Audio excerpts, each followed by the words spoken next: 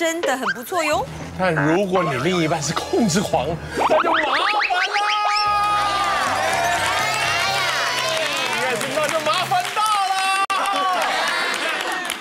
你为什么讲起来那么刻骨铭心的样子呢？哎，因为很有感觉哈。就是自己也会活在这种阴影你下。好朋友，你好朋友好朋友。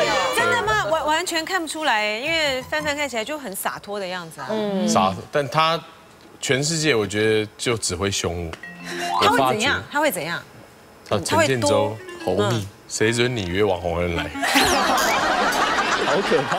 这这不是控制狂，这是这是为了避免老公交到不好的朋友吧？对，他是本身不讨喜。也也也不是他，呃，我觉得他就是喜欢知道我的一切行程，是吗？哦，就从 email 开始嘛。我的 Gmail 是他要共用哦，哦，对，常常 FaceTime，因为登录的 mail 是同一个嘛，对，然后 FaceTime 他就会抢着接，是哦因。为是我现在 FaceTime 只跟菲菲、想想跟保姆嘛，然后我们出去之后，哎，我都会被先抢着接，嗯，然后他会叫我阿伟是我经纪人嘛，把我的 schedule 也要到群组，也要让他知道时间点在哪里。对，那他的死穴在哪里？比如说你跟谁怎么样，他就会抓狂。倒不会，我的表现他都是挺放心的。你少跟哥你知道，因为大家都在看嘛，是不是？所以你要克制一点，这样。可能是怕你爱上我。可是我有大不敬啊，这姐姐啊，没有了，他不会我担心我。没有这个嗜好啊。不会不会。什么叫他不会担心我是什么意思？不是啦，不 不会担心我们我们这样的一个氛围的环境，哦对，很放是心，是是真的是这样吗？可是就是你，你可能那个 schedule 你你不能乱排，像嗯。孩子出生以后，我几乎都没有机会打篮球，对。不，过这个是责任呐，因为大家都要互相要分摊一下嘛。生了孩子对，但是说到什么样的地步，你就会觉得整个人你已经到了那个临界点，你受不了。然后你碰到这样子的另一半的话，你到底该怎么办呢？我们今天的来宾呢，很多人有这方面的故事要告诉大家哦。首先呢，是别人都说他控制欲超强的艺人于浩然。我们家其实有控制狂的是我老公哎，谁叫我越来越年轻呢？他一直想要洗白，说他不是呃那种恶毒的，对呀、不是控制真的他是真柔弱的，我是面恶心善，面恶心就有善。点像漫画，就是有一束光，然后就是你自己在那样很可怜。对对对，然后从他现在的反应就可以知道他的感情跟事业呢都两得意啊！欢迎 GG。是的，每一个人都是独立的个体，请你不要再控制别人了，以前自己蛮傻的艺人刘雨柔，欢迎雨柔。年轻的时候，我可以因为爱让你控制我，但你不要忘了，这么多年下来，我现在已经被你们训练成控制的女主角了。这个厉害，这个厉害。还有呢，就是最懂男女心理想什么两性专家一翠芬，欢迎翠芬。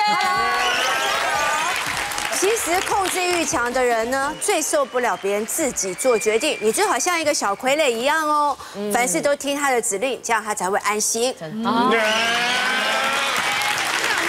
得多么的，就是不他刚舒服啊。讲到一个那个电影控制，对制极端到好可怕，就是有生命危险，吓死。对啊，嗯。而且其实我觉得很多时候，那就是在一线之间，到底什么是关心啊，什么是控制？所以你会觉得说他随时关心你。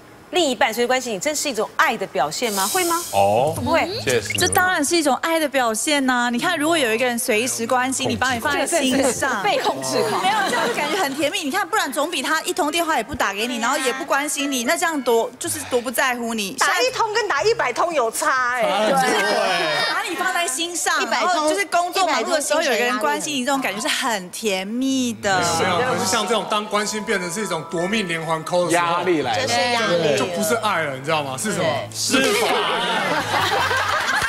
真的是烦哎！哇，你走到哪就是抠到哪，你就接到哪，你就报告到哪，就比当兵还要夸张。真的，真的，而且我觉得这里这个是有个进阶的过程的。你一开始的时候可能会觉得很甜蜜，到后来你就开始就觉得不耐烦。其实我用肉眼看呢，嗯，你就是控制狂吧？肉对眼看怎么看出来？我对那个哎呃记者，我对记者有。就说你这个你要在什么地方，你不能够迟到，你要认真，什么都不有。我对我对另一半不会哎，对呀。一定哎，我都已经结婚这么多年了，是要是要怎么样？有过这一段吗不不厌烦吗？啊就是一定会控制，因为你很没有强势啊。我看你我我没有每次在表现上面 你为什么要逼人家？就不会这样讲，更强势有人更那个霸气，一山还有一山高。对，所以到底另一半呢是什么样的状况？他超有控制欲，谁能够快快的来治治他呢？好，我们来看第一种情况啊。去哪里都要报备，几点到家也要说。我觉得这个还好，的很这种基本，你觉得应该我觉得这个？还好吧？对啊，因为是关心嘛，对不对哦？怕你危险啊，不是吗？嗯，小女生应该常会这样。像像我朋友的男友就是这种类型的，然后因为我朋友是做服务业，所以下班时间就会比较晚。那她男友就规定她就说，嗯，你要开那个定位系统，定地位有点夸张了。就是不定时要打电话给他，因为他怕担心他就是回家的时候会有危险嘛。那有一次我朋友好时不时就是手机没电了，然后他想说回到家再充电就好，然后他就先去洗澡，就出来不到一个小时就发现他手机已经有五十几通未接来电，然后然后他还打回拨给他男友说，他男友还跟他讲说，他说你知道我很担心你啊，我要怎样怎样，就是骂他。然后可我朋友觉得说，如果你真的担心我的话，你现在不会是打电话来给我，是早就已经来我家楼下找我，要不然就去四处问朋友说我到底在哪里，所以他根本就不是关心，是在控制他。真的，他真的来找你，不是很吓人吗？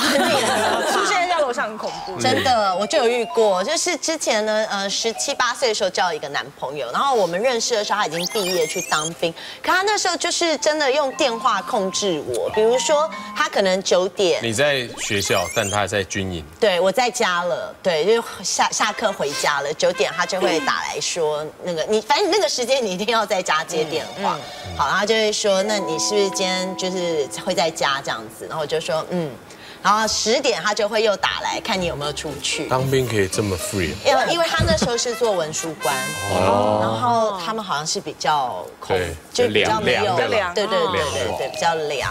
然后呢，他时不时呢就是会打来我家查寝，然后甚至是半夜，就是会打来亮一声亮一声，好可怕！对，但是就是后来，因为十七八岁正是爱玩的时候，所以我每次都骗他说：“哎，我要睡觉了。”我就偷偷跑出去。那就是你造成的呀。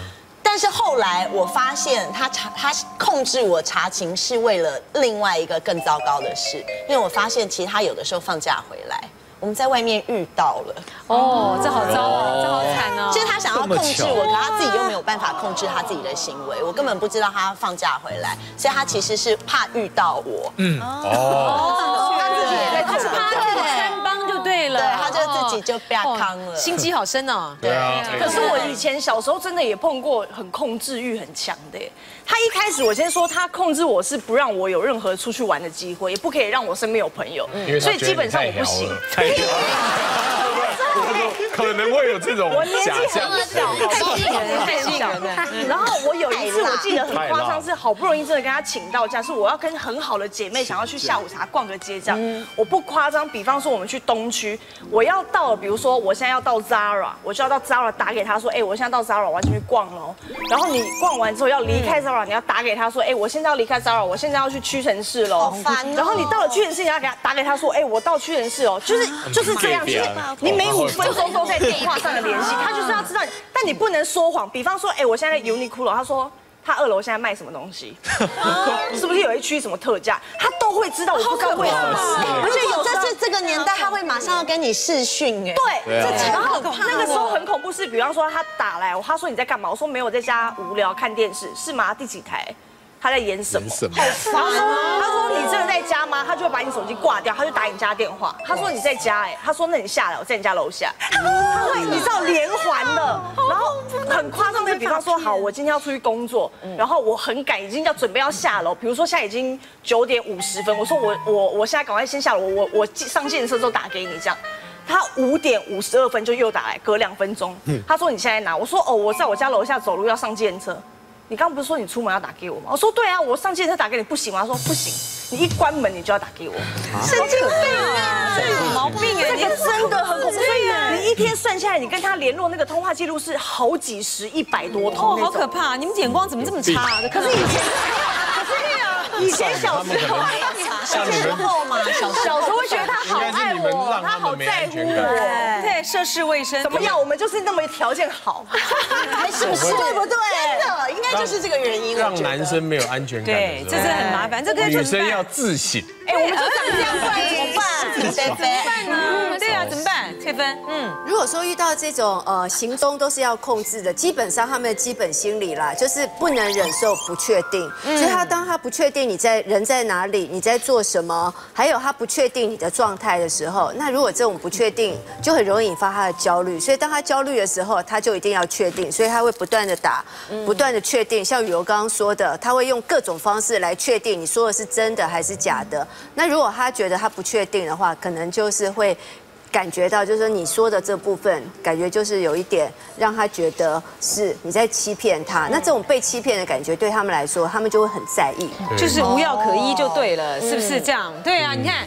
有这样的控制欲啊，去哪里都要报备。那还有什么呢？不准跟异性聊天，解释呢 他也不想听。啊，这真的很讨厌。因为我觉得有时候这种跟异性聊天是真的，就是可能对方也曾经，就像刚刚讲，可能对方让他没有安全感。嗯，你知道漂亮的女生。对，你知道我有一个男生朋友，他的老婆就是很漂亮，因为他本身条件没有那么好，所以他们两个结婚之后，常常走在路上，人家就讲说一朵鲜花插在牛粪上，这真的蛮刺。激的对，就变成的真是对不朋友的，朋友的，哎，因为常常人家这样子讲，我就难你自以为鲜花多久？真的不是我的，不是了，因为我老不会爱吃醋的那一种人。结果就是因为人家常常这样讲之后，你知道老公久而久他就觉得自己很没自信，自卑，他就没自信到曾经为了一个我朋友去便利商店，你知道有时候我们常常女孩子常常去家里附近的便利商店，跟店员一定会熟嘛，对。不对？那有时候你一阵子没去的时候，你突然去，店员一定就会说，哎，比如说于太太，你怎么最近好久没来了？就因为头发哦，对，因为这么一句话，轻浮，她老公在旁边就听到了。嗯，她老公马上整个脸就臭下来，然后回家路上，她老公就说：“为什么那个店员要问你这么久没来？”那我朋友就说：“对啊，我是很久没来。”他说：“那他为什么从来没有问我？”嗯，他就因为店员只讲了一个客套话。他回家就一直不断的怀疑他老婆跟店店员那个小男生，天啊！而且你知道店汉子，觉得现在是很多店很多便利商店的店员也都是小鲜肉，对，我觉得她老公就为了这件事情一直觉得他跟店员有关系，哦，这好头痛哦。后来到我朋友。将近好几个月都不敢再踏进那家便利商店啊！他就是为了 seven，后来改去全家，寻找另外的小我觉得就是，因为说，哎，老公就会，你可能一个客套话或一句话，他就会认为说，严重就认为说你跟那个人有什么，嗯，所以这种压力很大，对呀。我朋友就遇过一个更恐怖的变态男友，就是呢，她男友规定她不准跟任何只要是男生，就是不能跟他聊天，连对到眼他都会不开心哦。所以就是我朋友呈现一个，只要男生跟他讲话，他就要嗯啊装聋作哑这种状态，对对。然后呢？超夸张的。然后有一次就是我朋友就是去便利商店买咖啡，便利商店真是一个对有问题的地方，犯罪的温床。对对对对，也是去便利商店买咖啡，然后结果她男友突然本来在车上等她，就她男友竟然冲下车，就是要揍那个店员哎，神经病啊！我我我买东西总是要讲讲几句话吧，然后而且因为这个男友曾经有揍过她男同事的经验，所以我朋友当场很害怕，所以就当场就跟一直跟他赔不是，说对不起，对不起，我下次不敢，甚至差点要跟他下跪，她男友才罢休。然后丢脸哦，对，超丢脸。然后我朋友那时候就其实就已经很想跟他分手，然后觉得他这么恐怖，如果跟他提分手，他还可能会杀我之类的。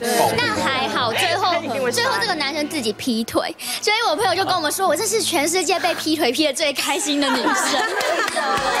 这也是，这也是，